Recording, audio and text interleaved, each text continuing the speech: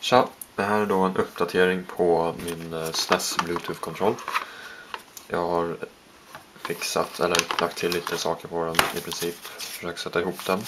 Ser fortfarande ut som fan, rätt ut sagt. Men eh, det funkar, vad, ska man, vad man kan säga. Liksom. Det är helt funktionellt. Jag tänkte att vi testar det här och synkar det. Får se den biten också.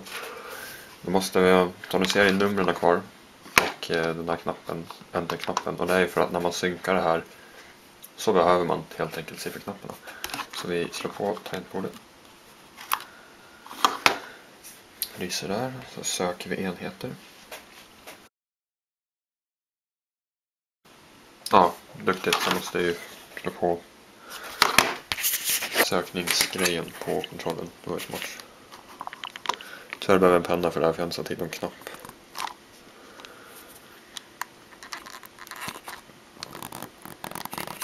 Så. Nu lyser den där, så nu går vi vidare. Mitt fel, sorry. Så här ser vi då Bluetooth tangentbord på en gång. Och då står det ange 5 eller 05 och grejen är att de här blir 5 och 6. Så det är 0, 5, 1, 6, 8, 2, enter. Så. Och nu är det sammankopplat. Så det är därför de är kvar och de måste vara kvar. Kan inte göra så mycket åt det. Eller jag. Om det finns någonting att göra runt det så vet inte jag hur. Den här synkningen behöver man dock inte göra hela tiden utan bara en gång. Jag gjorde det bara om det nu så ni fick se hur det ser ut. Så ja, vi kan ju öppna. Jag vet att ni har sett det förut om ni har kollat på den andra videon men kör det igen. Bara för att visa att det fortfarande funkar. Så här har ni ju textdokument som jag skriver här. Så ja, det är lite dålig skärpa för den här kameran är helt värdelös men ni kan se att det kommer siffror. Det kommer bara nollor av någon anledning men så 8. Så att jag sitter och trycker på knapparna under också. 3. Ja, det kan se. Skitsamma. Här i alla fall har jag nu satt ett gångjärn så man viker upp den istället för att den hänger helt löst. Fortfarande inte någon snygg lösning men det funkar. Jag funderar på att liksom ta någon plastspackel sen och liksom köra över hela kontrollen i princip. Så att man kan göra den snyggare. Så nu har jag också satt dit ett fäste här. Det är egentligen från ett eh, skydd till telefon. Som ser ut så här. Som jag klippt av bitar på från. Och det funkar fortfarande väldigt bra. Det håller kvar. Jag har gjort om det här till en... Eh, ska man säga, jag har satt dit ett fäste för. Man kan sätta dit på GPS-hållare. Så jag har den här. Men den här är lite utdaterad så kan vi använda ja, den istället. Hur som helst, här är fästet. Underdelen av fästet sitter fast med eltejp, tror jag eller ej. Det är två lager satta mot varandra så att det faktiskt är rätt starkt. Lim här inne och eh, på den där. Och eh, det är bara så att man ska kunna vika ihop den här då för då kommer det så. Men när man viker upp det här så tar man bara sin telefon. Viker fast den. Och sen sitter den. Den sitter faktiskt riktigt bra. Eh, att det är ett eh, liksom, tejp där, det gör ingenting faktiskt för att så fort jag sätter på telefonen då blir det styvt eller vad man ska säga. Det blir, ja, det funkar. Så då kan vi köra här igen.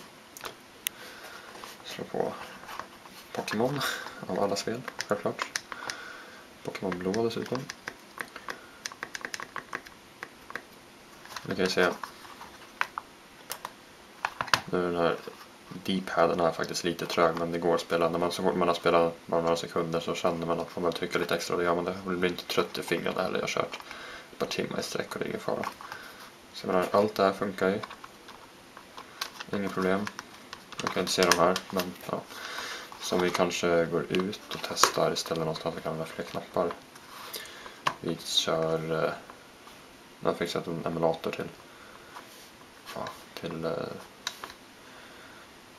vad den heter, Super Nintendo också, ska vi bara hitta den. Om det är någon som undrar så kör jag Launcher Pro på min Galaxy X. Galaxy S, och det är därför den ser ut som den gör. Startar Mario World.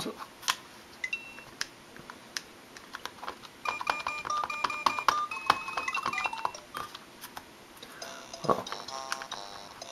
Det blir kanske rätt lång video faktiskt men ja, ni kan se. Oj, där uppe Tittar jag. Tittar genom kameran ser man inte ett skit.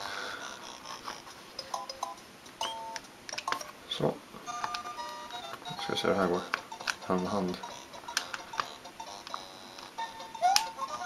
Ja, som ni ser funkar det. inga problem alls.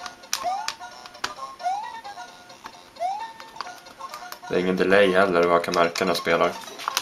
Faktiskt.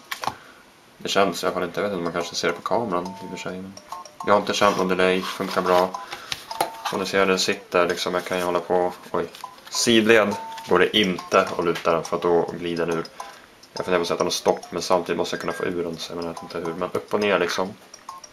Håller i, inga problem. Men sidled så glider den ur. Men jag måste kunna få ur den så. Man får se till att inte sitta och göra sådär. Men så, upp och ner och allt sånt där. Upp och ner. Inga problem. Sidled. Uh. Ja, den glider inte ut jättelätt men den glider ut när man djupar lite på den. Så. Och så är det såklart kan du koppla det till dator, vad som helst. Funkar hur bra som helst till bluetooth. Allt som bluetooth funkar till i princip. Jag vet inte, men dator och till Galaxy S.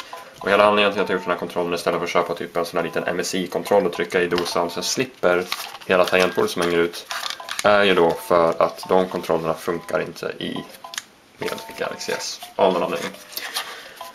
Så det var väl i princip vad det är. Det är en uppdatering. Jag ska väl försöka göra den här snygg nu också men nu har jag i princip kommit fram till en formfaktor som kommer att funka så jag kan liksom sätta fast den här, ha det som ett Gameboy eller PSP eller vad ni vill kalla det utan att behöva lägga liksom, telefonen i knät eller så. Så är det. Lite lång video. Ha det bra. Hej.